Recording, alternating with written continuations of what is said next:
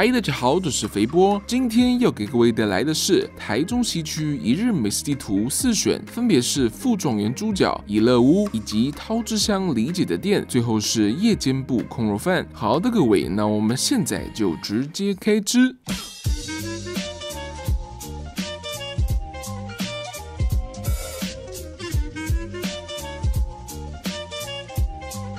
好的，各位观众朋友，首先第一站我们来到的是位在向上市场附近，连续两年都获得必比登推荐的副状元猪脚。那这一家呢，据我所知就是狮城啊，台北晴光市场那个富霸王，之前去拍过，非常的喜欢，想说这次来台中顺便回味一下。然后我点的当然就是一份腿裤配上猪脚，简单粗暴的组合啊。不过早餐吃这个实在是有点小母汤，但我个人真的是没办法抗拒啊，这种卤到带有琥珀色泽、闪烁着油光的优质猪脚。好的，各位。那我们现在就直接开吃。那我们首先呢，就从它的猪脚起手。那它一份呢，其实就是一块中段跟一个猪皮这样，感受一下啊。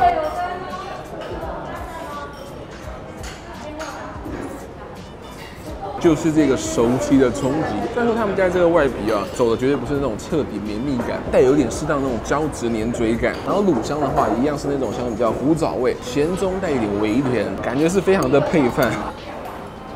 想要补充一下胶原蛋白，来这边就对了。好了，那我们再试一下它的脚蹄，这个你用夹的感觉就知道，它那种化口绵密感会更强一点。中段呢，真的就是 Q 中带嫩，但我们的脚蹄本人走的真的就是彻底的绵密，而且它的表层都还有在淋上点肉燥葱花，可以说是肥上加肥啊。好的，那我们再试一下它的腿裤，外形上那是百分之百给过，而且也不会说全部都是油脂啊，还是带有点瘦肉的。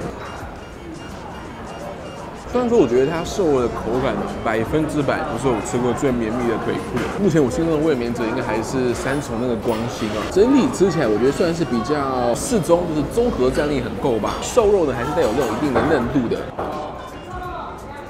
不过呢，它这个酱汁本身真的是会让我想要，如果住附近的话，时不时午餐来上一份。我家附近怎么都没有办法有这种高端的猪脚饭呢？OK，各位，总结一言呢，副状元猪脚，我觉得它就是一间综合战力非常强的一个选择啊，卤汁够味，然后整体的口感也还不错。好的，各位，那我们现在就前往下一站。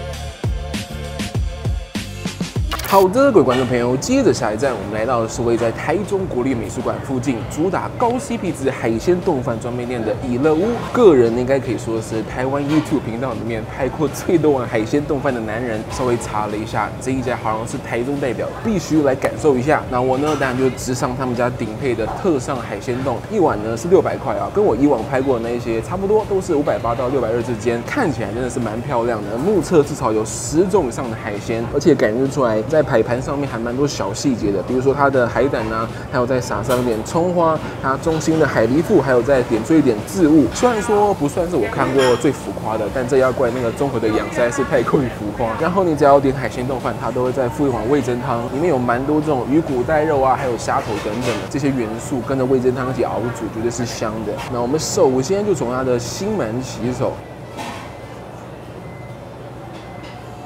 OK，各位，我必须说，它这心满融化的速度，比刚才前面那一家副状元猪脚，它外皮融化的速度还要更快一点。随之而来呢，就是那种微甜的酱香，还有鳗鱼浓厚独特的味道。下一口试一下，花枝配上满满的龟卵，他们家这个设计的算是比较好爬的，因为很多海鲜冻饭真的是摆的很好看，但是很难去真正的配着饭一起吃。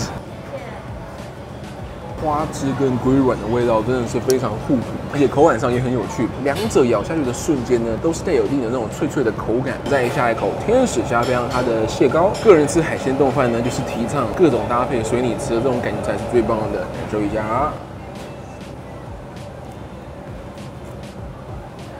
最先感受到的绝对是蟹膏，非常强烈浓郁的腥味扑鼻而来。接下来呢，才会是天使红家那种虾肉的甜味。再试一下它的海胆啊，不过呢，我们有一说一啊，他们家挖给我这朵海胆没有到特别的漂亮，应该还是跟产地有关吧。感受一下啊。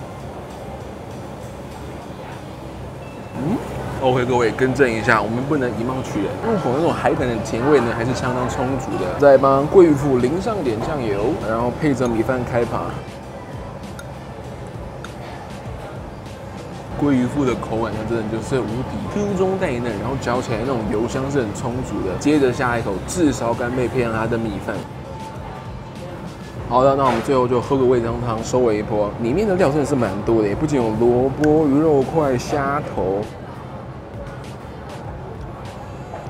味噌汤这种东西真的是很吃，你有加什么料进去？那种发酵过的味增豆浆，配上鱼肉的鲜味，还有虾子那种很浓郁的甜味，喝起来就是特别的顺口刷嘴。OK，各位，总结一下呢，以乐屋啊，我觉得呢，它就是一间摆盘很漂亮，整体氛围很好的一间海鲜冻饭专卖店。但是呢，也毫无疑问，不是我吃过最爽的海鲜冻饭。毕竟海鲜冻饭这种东西，真的就是直球对决嘛。同样的价格，你愿意放多少东西到客人的碗里啊？不过呢，味增汤真的是非常的好喝。OK，各位，那我们现在就前往下 一站。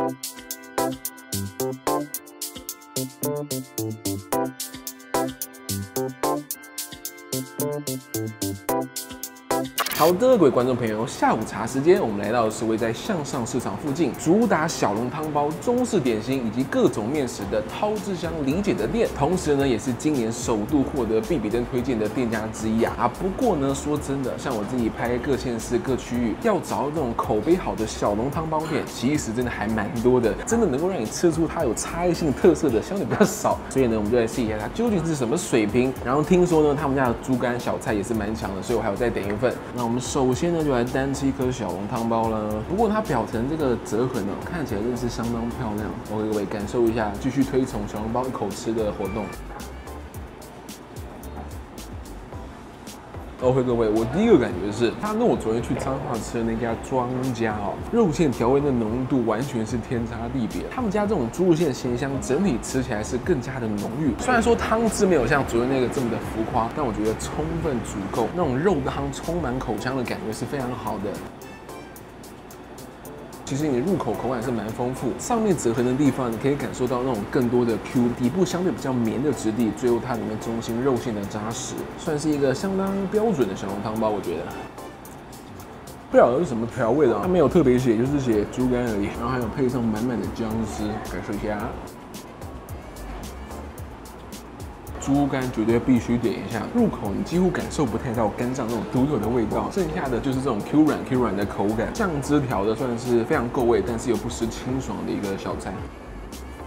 OK，各位，总结言呢，汤汁香理解的店，嗯，我觉得他们家的小笼汤包就是属于一个把基本功做到极致的一种感觉，不是走那种汤汁爆多派，或者是那种肉馅味道很不一样的。对我来说，就是是一个日常系，很适合当做下午茶的一个小笼汤包。OK，各位，那我们现在就前往下一站。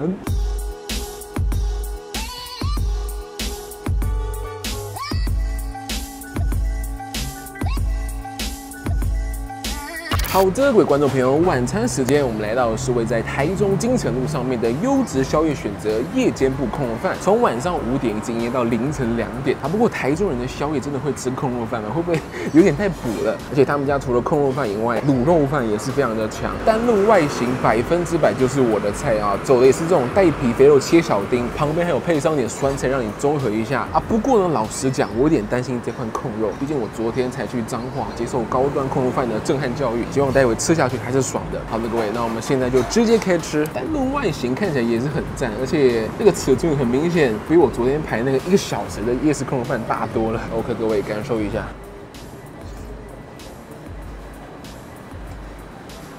等我先扒一口饭。OK，各位，虽然说我觉得它的皮可能没有到主人那家那么的浮夸，但是真的已经足够强了。最先感受到真的就是表皮的一点微 Q，然后很快的呢就剩下它皮下这些脂肪胶质粘嘴感。老板娘刚才说台中人呢吃空好像要淋一点东泉辣椒酱，我以为只有吃什么水煎包会淋，连空肉也淋嘛，感受一下啊。我个人觉得吃起来像这种火力不会那么强的这种甜辣酱的感觉，味道不会说过头啊，跟它原本这种啊微甜的酱卤感意外的还蛮搭的。好的，各位，控肉饭解决，我们现在改来扒它的卤肉饭，然后呢，你稍微夹一下就可以感觉到极度的粘筷子，你就知道那个胶质感是多么的强。开扒，开扒。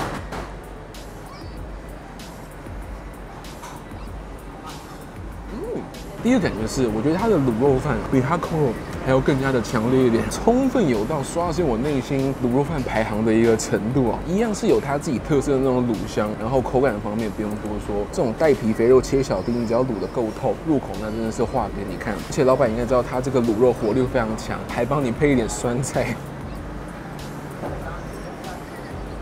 虽然说刚才那个控肉皮的部分胶质感真的很爽，但是这种小颗小颗卤肉丁单点突破那种油脂感散发开来，真的更对我的胃。如果我是住这附近，我可能每天晚上都来爬个两碗。好的，各位，总结言呢，夜间部控肉饭，我来台中吃的最后一家，同时也是我个人最喜欢的。好的，各位，那就这样啦。那我这次来呢，也是快省两天可以啦，最后应该会再花几天把其他地区都稍微补一下，各位可以敬请期待。那我一样呢，会把店家详细资讯留在影片下方的说明栏。感谢各位的收看，那我们就下下。部影片见，拜拜。